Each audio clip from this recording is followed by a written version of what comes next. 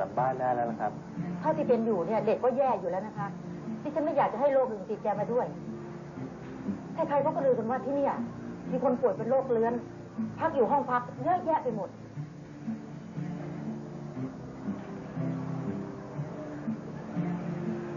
หมอครับถ้าอย่างนั้นเดี๋ยวหมอจะจ่ายยาให้เด็กกลับไปกินกินที่บ้านนะครับ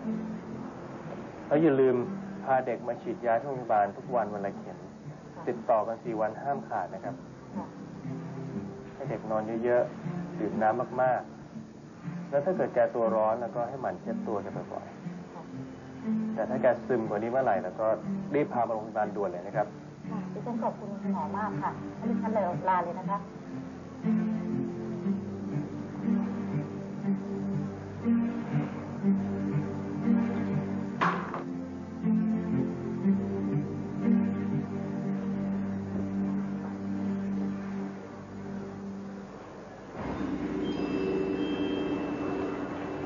นะครับ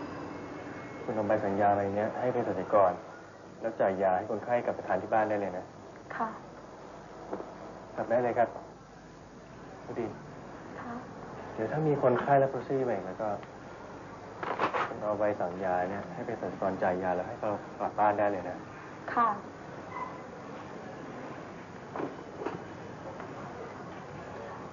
ขอตัวไปเข้าห้องน้ำหน่อยโอ้ คุณหมอมานพเด็กคนที่กลับไปเมื่อกี้เนี่ยเป็นไข้เลือดออกหรือเปล่าเลิศครับ ผมต้องพยายามเต็มที่แล้วนะครับ ที่จะแอดมิดเด็กไว้อะแต่แม่เด็กนะครับเขาไม่ยอมท่าเดียวอะให้ผมเองก็จนใจครับทำไมเขากลัวลูกเขาอะจะติดโรคเรื้อนจากโรงพยาบาลเอาครับาพพจน์ของโรงพยาบาลเราตอนนี้เนี่ยมันแย่มากนะครับ ชาวบ้านที่มาโรงพยาบาลแทนที่จะคิดว่าที่นี่เป็นที่พึ่งเนี่ยเขากลับกลัวจะมาติดโรคเรื้อนจากที่นี่ไป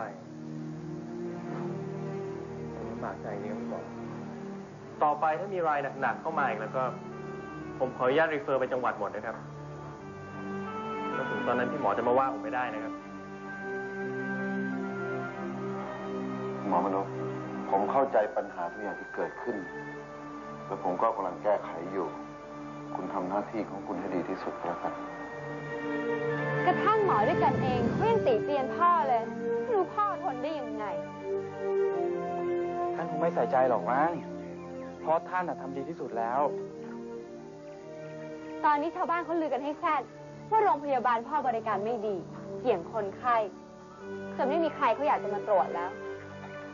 ถ้าเกิดเรื่องไปถึงจังหวัด แล้วเขาไม่เข้าใจว่าอะไรเป็นอะไร ก็ได้เสียกันหมดทั้งโรงพยาบาลพี่อ้นอย่าลืมสิ พ่อเป็นถึงผู้อำนวยการนะแต่ถ้าคุณลุงมีเหตุผลที่ดี ที่ว่าสาธารณสุขจังหวัดก็คงเข้าใจนะแต่การไม่เห็นด้วย การว่าพ่อทำไม่ถูก สิ่งที่พ่อคิดพ่อทำมันขัดแย้งกับคนอื่นเขาหมด นี่เรื่องก็ยิ่งบานปลายไปใหญ่แล้ว คนนี้ต้องมานั่งคิดนั่งปวดหัวนั่งแก้ปัญหา ก็พ่ออีกนั่นแหละ นี่การอย่าพูดอย่างนี้กับคุณลุงนะ ท่านจะเสียกำลังใจ จริง ๆ คุณลุงทำเป็นไม่รู้ไม่ชี้ตรวจโรคเป็นวันๆก็ได้ แต่วิธีอย่างนั้นไม่ใช่นิสัยของคุณลุง การก็รู้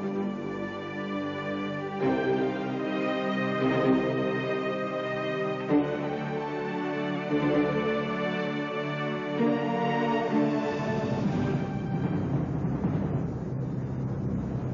อไปเจอคนไข้เลือดที่ไหนไม่รู้ เยอะแยะ ให้เข้ามาตรวจ แต่ไม่มีที่ให้อยู่ มาออกันแบบเนี้ยฉันว่ามันไม่ดีเลยนะ เออ คนไข้ก็เต็มโรงพยาบาลแล้วอะ จะรับไว้อีกทำไม ที่วอร์ดนะ คนไข้โรคเรื้อนอะก็เยอะแยะแล้ว แต่ฉันว่าคนไข้โรคอื่นเขาก็น่าสงสารเหมือนกันนะ เดินทางมาก็ไกล แต่ไม่มีที่พักอะ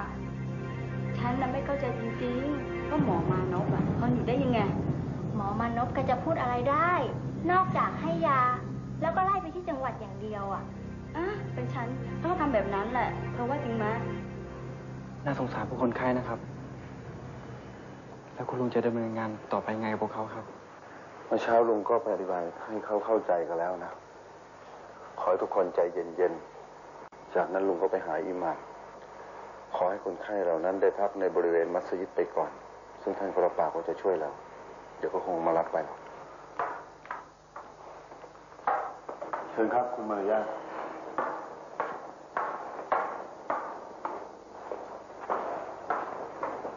นี่ค่ะ ใบรายการที่จะเบิกพออคะยังไงก็ขอยา DDS ก่อนนะคะ เพราะว่าช่วงนี้คนไข้เรื้อนมารับกันเยอะ ส่วนตัวอื่นไม่เป็นไรค่ะยังมีอยู่ คุณไม่ต้องห่วงเรื่องนั้นเดี๋ยวผมจัดการเรื่องยาให้ก่อนก็แล้วกันภาวนาให้เขาพิจารณาเรื่องเร็วๆนะคะเพราะว่าถ้าเขาไม่ช่วยอะเราคงแย่แน่เลย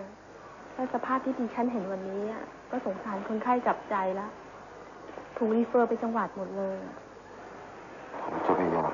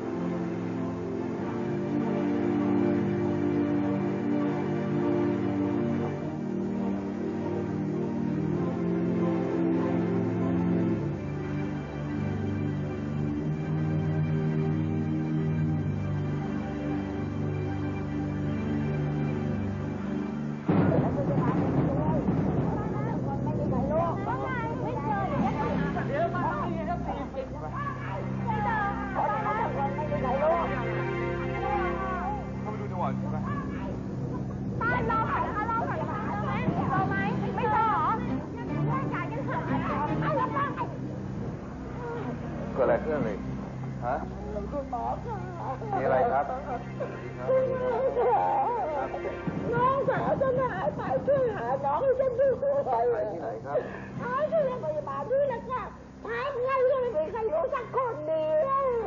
ผมจัดการให้นะครับคนไข้หายจากวอร์ดเนี่ยคนไข้หายไปจากวอร์ดเป็นไปได้ยังไงล่ะครับ แล้วเมื่อคืนใครอยู่เวรเดี๋ยวให้ไปพบผมที่ห้องเลยนะ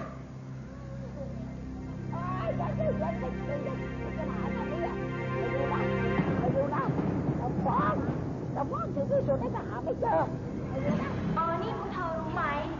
ว่าที่น้องสาวแกหนีเนี่ยนะ ก็เพราะว่าแกทนอยู่กับคนไข้โรคเรื้อนที่อยู่ในวอร์ดเดียวกันไม่ได้อะ ก็แหมเลื่อนทั้งวอร์ดใครจะไปทนได้ เป็นฉันฉันก็ไม่ทนอยู่หรอกพักเนี่ยแย่นะ เดี๋ยวคนไข้ก็ทะเลาะกัน เดี๋ยวญาติก็มาทะเลาะกันอีกอะถ้าขืนเป็นอย่างนี้ต่อไปนะ มีหวัง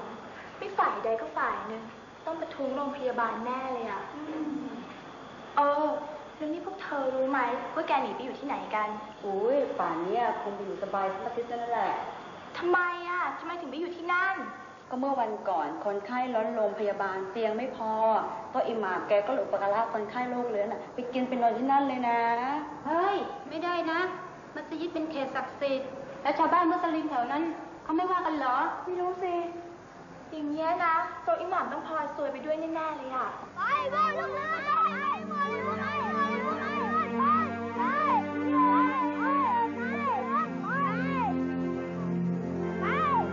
เดี๋ยวเดี๋ยวเดี๋ยวนี่ไม่เอานะ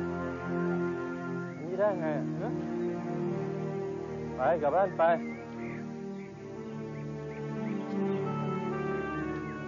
อิหมาม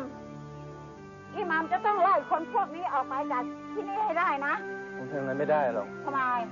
โรงพยาบาลเดือดร้อน ผมก็ต้องช่วย ถึงเขาจะไม่ใช่มุสลิมเนี่ย เราควรช่วยไม่ใช่เหรอไอ้นั่นมันก็จริงอยู่ แต่ว่าคนพวกนี้เนี่ยมันเป็นโรคเรื้อนแล้วเขตมัสยิดเป็นสถานที่อันศักดิ์สิทธิ์ที่คนพวกนี้น่ะจะเข้าไปอยู่ไม่ได้ ใช่ใช่แล้วถ้าเกิดติดเชื้อขึ้นมานะ อีกหน่อยใครจะกล้าเข้ามาทำพิธีที่นี่อีกอะเออ คงไม่มีใครกล้ามาแล้วล่ะ แน่นอนละถ้าอิหมัมควบคุมมัสยิดไม่ได้นะอิหมัมก็ควร